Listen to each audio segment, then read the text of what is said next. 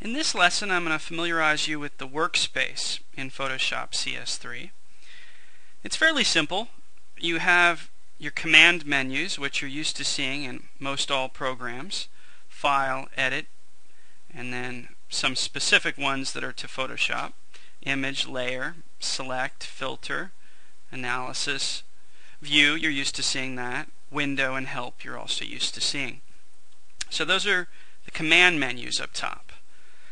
Off to the left here is called the toolbox and these are all your different tools that we're going to get into um, the use of. And you can adjust your toolbox here. See these little two arrows here?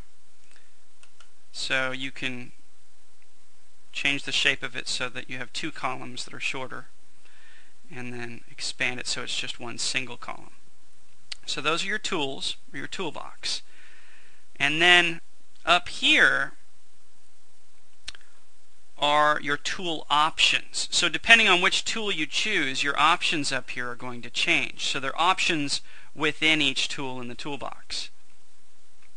And then over here, these three boxes you see, which include navigator, histogram, info, color, swatches, styles, layers, channels, and paths, three separate boxes with tabs. These are your tool palettes, which you can um, adjust what items you want in those palettes, not unlike uh, a paintbrush palette where you determine which colors are on the palette.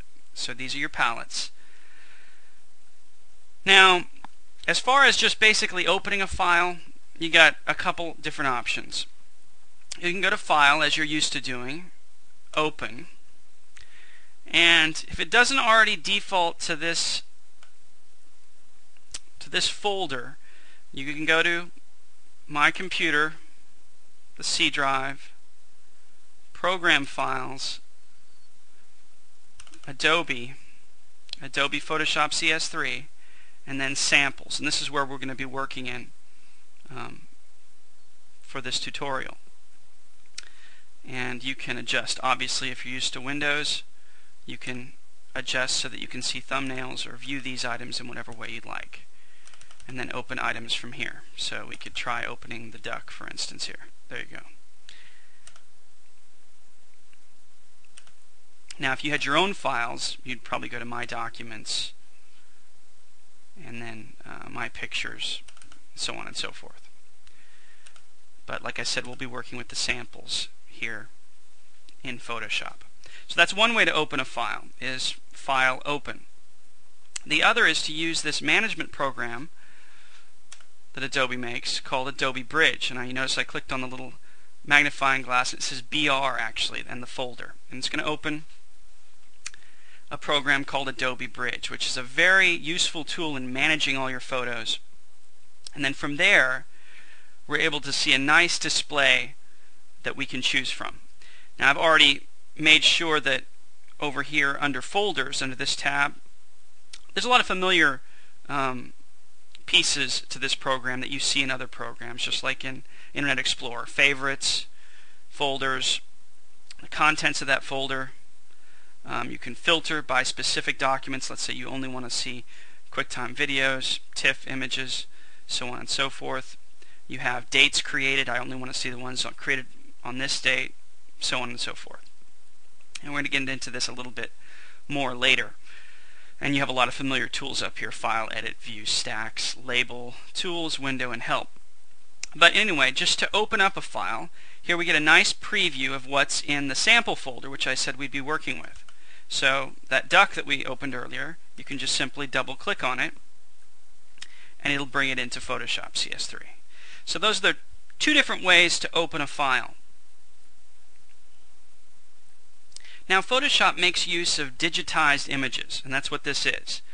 And a digitized image is break, basically breaking an image down into very small squares called pixels. And basically you can have a, a digitized image from a, any number of sources, from your digital camera, from a CD with a digitized image on it, maybe a JPEG or a TIFF file. Maybe you've scanned some photographs. Um, you can even capture frames from video or artwork that you've created and scanned. Um, any number of sources can be used with Photoshop to uh, to modify and amend the graphic.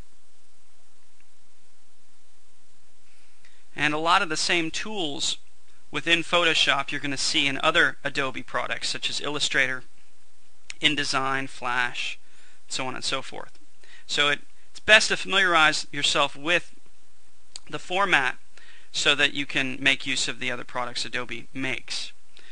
So there's a brief overview of how to open a file and basically what your areas are as we went over. Your toolbox, your tool options, your command menus, and your tool palettes.